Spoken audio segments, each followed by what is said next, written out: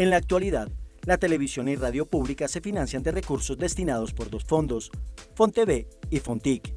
FONTIC cobra, recauda y administra los recursos que pagan los operadores de telecomunicaciones por concepto de contraprestaciones. También financia proyectos de conectividad y uso de las TIC. FONTV, por su parte, financia la operación de RTBC y los canales regionales, entre ellos Telecaribe, Telepacífico, Canal 13 y Canal Capital. ¿De dónde salen los recursos? Para FONTV, de las contraprestaciones pagadas por la industria privada. Para FONTIC, de las contraprestaciones canceladas por operadores de telecomunicaciones. ¿Qué plantea el proyecto de ley que moderniza el sector TIC?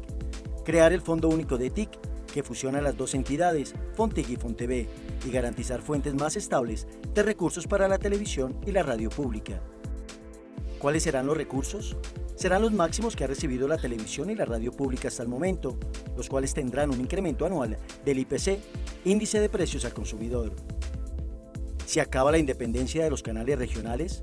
Con esta política no se acaba esa independencia.